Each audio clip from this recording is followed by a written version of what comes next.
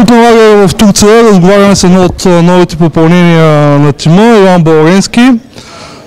Първо благодаря, че се съгласи да дадеш това интервю за нас.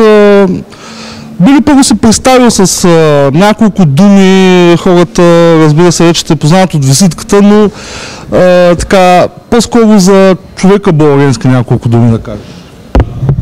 Здравейте първо. Израснал съм в Монтана. Играл съм там в една част на школа Монтана Старс. След това преминах в школата на Литекс, след което преминах в ЦСК. Там играх като юноша, после отидох да играя пак мъжки футбол в Литекс, след това Враца и сега се озовах тук в Берое да продължа развитието си. Какви са първите ти впечатления от клуба и защо избра да играеш тук? Първите ми впечатления от клуба са, че тук заварих супер добри момчета, създадох приятелства, радвам се, че съм и част от отбор с традиции, с много добра база, което ми помага да се развивам, както аз, така и момчетата и да радваме Берое само с победи и феновете всички.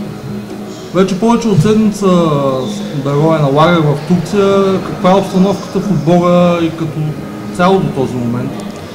Обстановката е супер. Раздаваме се на всяка една тренировка. Тежки са тренировките. Сега имаме доста нови момчета, както и аз, и гледаме да се сработиме един с друг и да побеждаваме всеки един матч.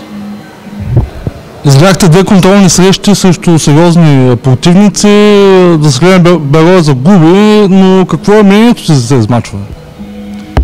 Еми, мнението ми е, че има още какво да се желая, още не сме компактни, така да се каже но за това да се тренираме и гледаме да се подготвим за началото на сезона. Спомена, че имаш амбиции с зелената фанелка. Какви са твоите цели? Моите цели са да върнем Берое там, където му е мястото и в момента мисля само за Берое и ще дам всичко от себе си, за да може Берое да върви напред и, и се надявам това да се случи, възможно най-скоро първите мачове чукат на вратата, както се казва и както каза и ти са възможно най-скоро. Бело е с тежка програма след подновяването на първенството. Какви са твоите очаквания от тези мачове?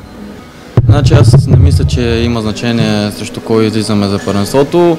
Ние излизаме единствено и само за победа. И да се раздаваме, всеки да помага на другия. И това е, да, Беро е просто да побеждава. Накрая, какво би казал на феновете на Берое? Еми, мога да им кажа, че ги очакваме колкото може повече хора на стадиона, защото друго е когато играеш с фенове и друго е без фенове. Така че ще се радваме, ако дойдат възможно най-много хора и ние ще ги радваме само с победи.